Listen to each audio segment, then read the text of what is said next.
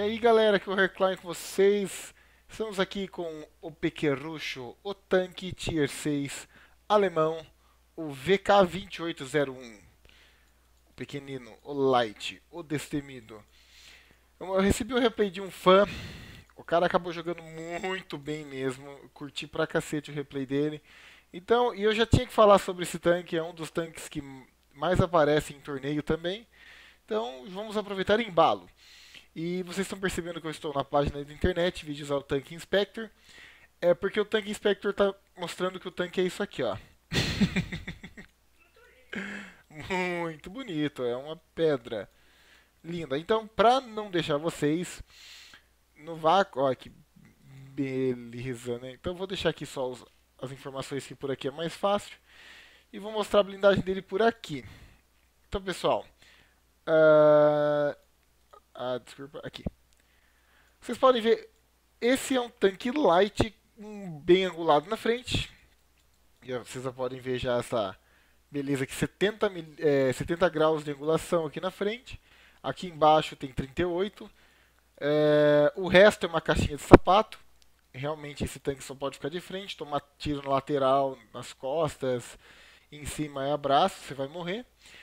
Um, além dele ser super bem angulado, até que por um light ele tem 64mm de espessura, mas esse tanque anda tipo 70 por hora, então você vai passar em buraco, lombada, vai ficar sambando na frente de todo mundo. E você vai angular para 106, você vai angular para 106, você vai angular de baixo para cima para 120, de cima para baixo vai diminuir a angulação, então não é muito legal. Mas assim, aqui você pode puxar alguns bounces. A frente dele tem um Space Armor aqui no, no mantelete. 109mm, mais 50 aqui atrás. Na torre dele mesmo tem 50, o resto da torre é 20, acho, é 30, em cima é 15.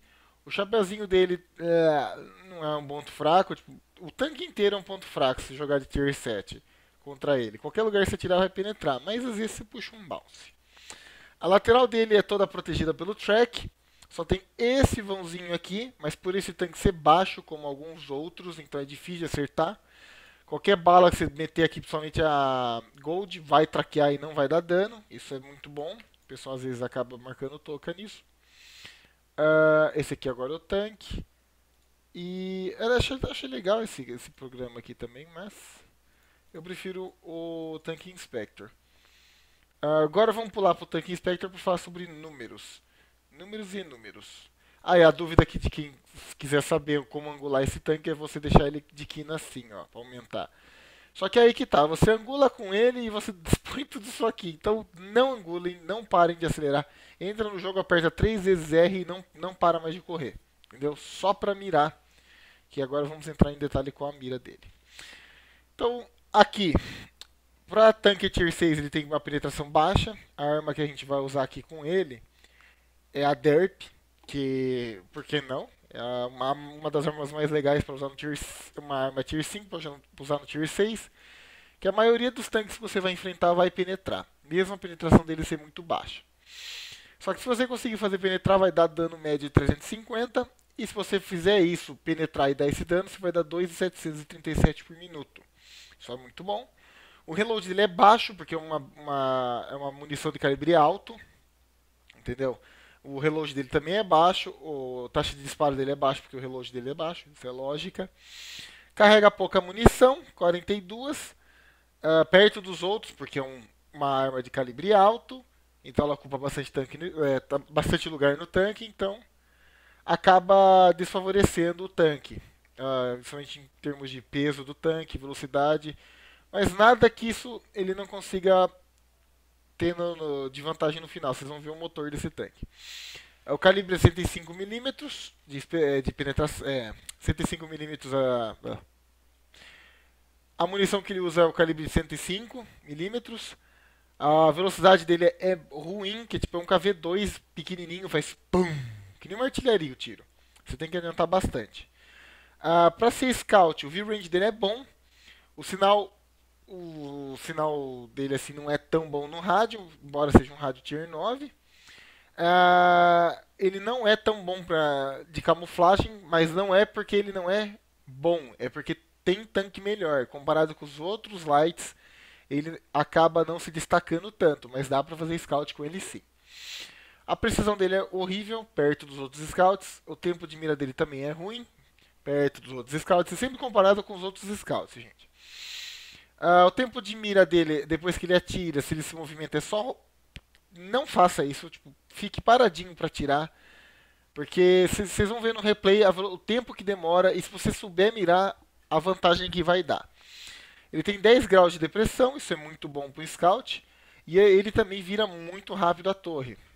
A torre não, desculpa. A, a, a, torre, a velocidade da torre dele é 45 graus por segundo, quase 46 graus por segundo. Isso é muito bom para o Scout. Uh, ele pega a batalha de Tier 7 a 10. Mobilidade dele tem 650 cavalos no motor. Uh, quase 24, quase não, 24,29 cavalos por tonelada. Isso é muito bom para um, um light, isso é muito bom mesmo, um dos melhores. Uh, só que o chassi dele acaba não favorecendo para fazer curva. Perto dos outros ele faz 46 graus por segundo. Não é tão ruim, mas dependendo do mapa isso pode atrapalhar. Ele se destaca em alguns solos aqui no jogo, tipo só em solo fofo que seria tipo, pântano, que eles travam um pouquinho mais. Ele faz o pivô, ou seja, ele roda no lugar.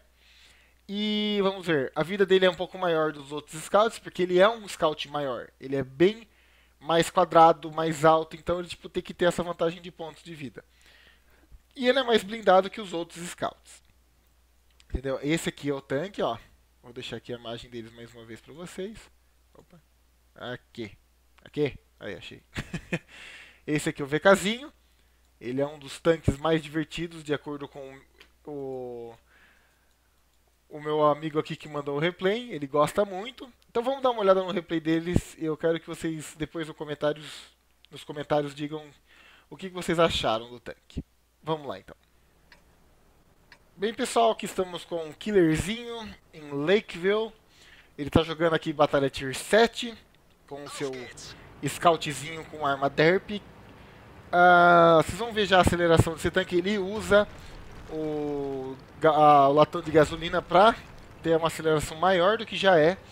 Uma estratégia interessante para pegar pontos é, favoráveis para ele spotar. Geralmente o pessoal curte vir aqui para spotar, mas ele acabou usando outro lugar. Esse lugar é particularmente eu nunca tentei, mas é um lugar muito bom, muito bom mesmo, é que eu não arrisco muito assim, entendeu? Mas ele parece conhecer o tanque dele, então vamos ver o que, que ele faz com o tanque. Acho o MX-12T. Tiro preciso na, na, no chassi dele, acaba dando, um maciço nele, penetrando a bala HE. Esse tanque aqui, a bala normal dele é HE por causa do canhão DERP. O canhão curto geralmente é DERP, pessoal. Aqui, ó, ele tem já marquinhas no canhão, então ele sabe jogar com esse tanque. Ah, então, como eu estava dizendo, a, todo canhão curto no jogo é DERP. Pode, para quem é novato, já para sacar Bala HE é a bala normal desse tipo de tanque. Uh, assim, já mataram a artilharia do time dele. Ela deve estar um pouquinho, devia estar um pouquinho para frente demais. E aqui ele fazendo o scout mais passivo, ele só deu tiro no 12T que podia ter custado o jogo ali para ele, se ele fosse spotado, só que 12T acabou morrendo muito rápido.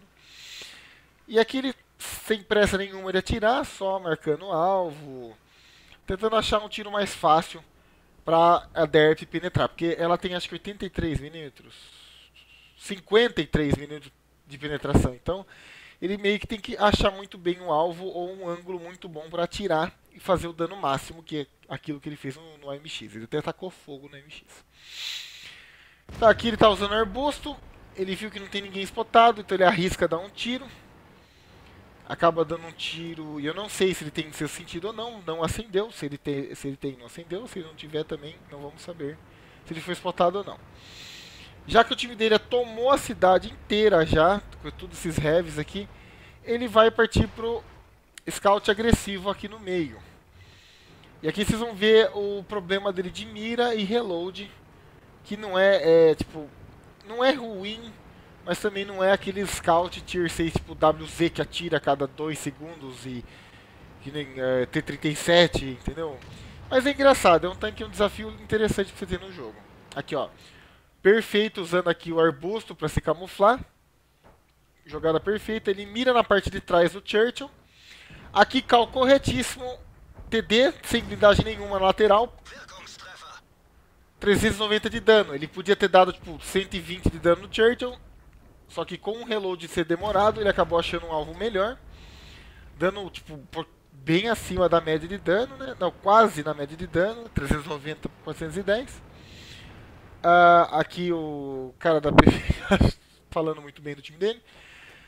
Ali, ó, de novo usando arbusto para se camuflar bem e procurando um tiro melhor. Aqui ele já carrega bala gold, que tem mais penetração. Tem menos dano, só que mais penetração, mais garantido. Na parte verde do Tiger, acaba dando 425 de dano. Penetrou maciço assim na lateral do Tiger. Com a bala gold, se fosse HE, não ia penetrar e dar tipo 80, 120 de novo de dano. De novo aqui, ó.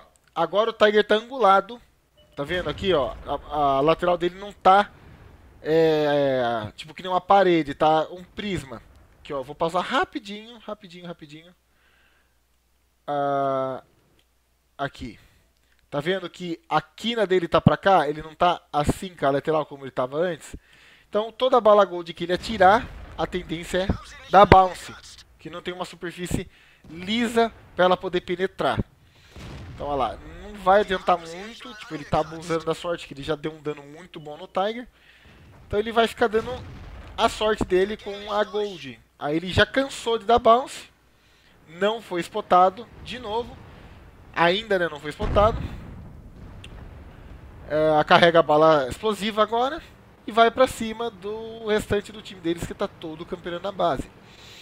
Não tomou nenhum dano até agora, tá indo super cauteloso na base, somente contra um E25 que foi spotado aqui, que pode matar ele em 7 tiros. Isso vai demorar tipo 30 segundos quase pro E25 matar ele. Já spota o E25, não vai para cima, qual correto. O E25 tenta pegar a parte de cima, não acertando. Aí ele spota o Bishop. Mira automática vai fazer ele penar para matar esse cara. Em vez dele usar a mira normal e pegar na parte de cima, a mira automática está mirando no meio dele, que é no track. Então o Track tá engolindo todos os tiros dele. Então era pra ter matado num tiro só, ele acabou matando, tipo, em... Deixa eu ver agora. Terceiro dele agora. Uh, vamos ver... Agora vai carregar, agora ele mata. Qualquer lugar que ele bater, mata lá. Quatro tiros pra matar uma artilharia. Se ele tivesse com a bala HE mirando na torre do Bishop, na parte de cima, na casa mata dele, ia ser um one hit kill nele. Mas, tudo bem. Então vamos tirar o mérito dele, porque olha que lindo. Pum.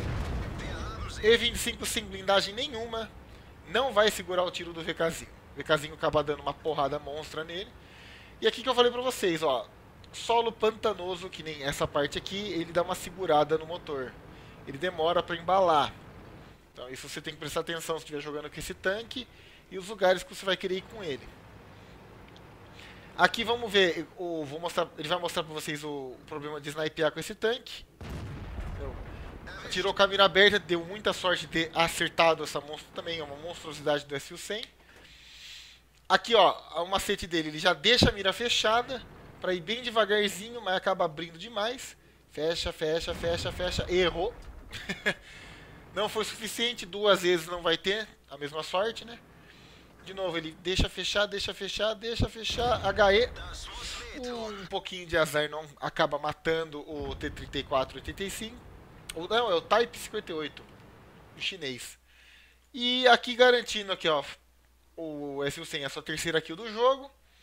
Com o VKzinho a derp, sem tomar nenhum tiro. Vamos ver como ele ficou no resultado da batalha, pessoal.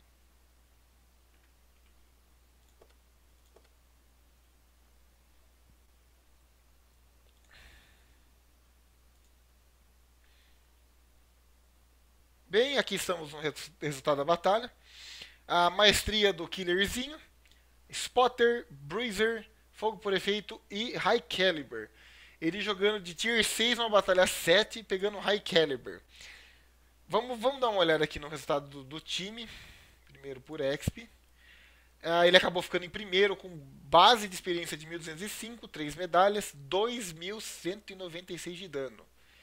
Isso foi muito, muito bom. Mas não se iludam com o dano. Ele é um jogador experiente. sabe atirar no tanque adversário. Então não é só sair atirando que vai penetrar tudo para 400. Ele soube usar muito bem o canhão dele. Aqui, vamos dar uma olhada. Ó. 17 tiros, 12 penetraram, é, 12 acertaram e 9 penetraram. Então a média dele foi alta até. Uh, snipeando ali fechadinho, ele fez 1.317 de dano. Uh, o dano total dele 1.196. Ele spotou 4 veículos. E durante o spot desses 4 veículos, ele ajudou o time dele a acertar os veículos spotados para 1.386 de dano. Viajou uma distância de 1,74, nem parece que esse tanque é muito rápido, então acaba nem parecendo muito.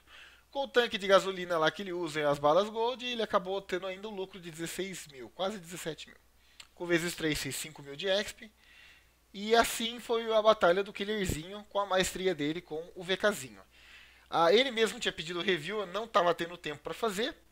Ainda bem que ele conseguiu mandar para mim um replay bom mostrando exatamente a arma dele, a arma DERP desse VK, que eu recomendo demais, é só saber usar. E é isso aí, pessoal. Esse foi o replay do VKzinho, uh, do nosso do, do, seguidor aqui da, do canal do Killerzinho. Espero que vocês tenham gostado. Se vocês gostaram, dê aquele like. Se você também não está inscrito no canal, clique aqui e se inscreva, participe do canal e concorra a sorteio de códigos até o final desse ano, hein, pessoal? Vamos lá, chame seus amiguinhos e vamos ajudar eles a ganhar prêmio e 200 mil de silver. Então, pessoal, é isso aí. Um abração e até a próxima.